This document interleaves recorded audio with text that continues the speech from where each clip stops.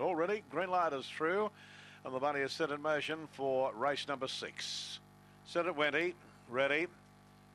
And racing, forward thinking missed it. Spearing the lids in the centre was final. Built it on settling down. Moving up on the inside, interrogated Handy Nandy, followed by Tinkerbell Rose, forward thinking. Back in the field, Aurora Girl, and the tail ender was Tarzan Luke. Down the back they go. The leader interrogated from Handy Nandy. Forward thinking's got to the centre of the track and starting to charge. On the inside was final Bell Aurora Girl, Tarzan Luke, Tinkerbell Rose. Around the corner, the leader interrogated Handy Nandy. Here's forward thinking. On the inside, Handy Nandy hit the lead lead forward thinking dive missed I think Handy. Nandy I think Handy Nandy by a nose on the line forward thinking. Flashing up Aurora Girl they were followed by Interrogated. Next up Tinkerbell Rose and final. Bell was the tail ender.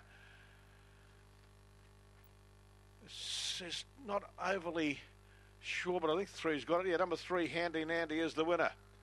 Three wide Handy Nandy is first one the red forward thinking second. Seven the black Aurora Girl third. Number two and fourth place. Handy Nandy has scored in the wash up by a head. One and a quarter between second and third. Ahead by one and a quarter.